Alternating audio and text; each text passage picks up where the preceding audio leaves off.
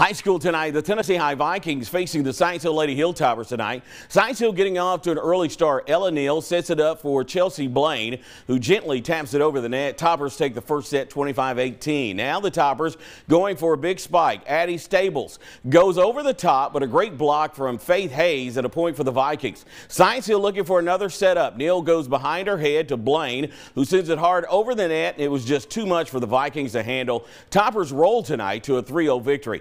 Moving on to the TAC, the Daniel Boone Lady Blazers taking on the Dobyns Bennett Lady Indians. Starting off, Indians Mella Bryce sets up Jeslyn Harden to do a light tap over the net. Blazers take a dive, but it wasn't close enough. Later in the set, Lady Blazers, Katie Sparks teams up to allow Taylor Brin to spike for the kill. Nearing the end of the set, Harden will hit the ball in the air for Jolie McLean to spike it, bouncing off a Blazer and finishing off the set. Lady Indians hold on to win tonight, 3 to nothing.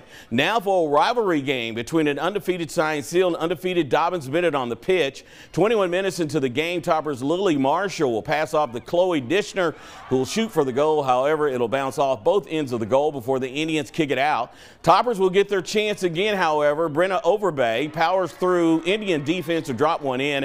It is now 1-0. She had two goals tonight. Later, the Indians' Cora Houlihan coming in for the penalty kick, but a miscalculation and the ball bounces off the goalpost.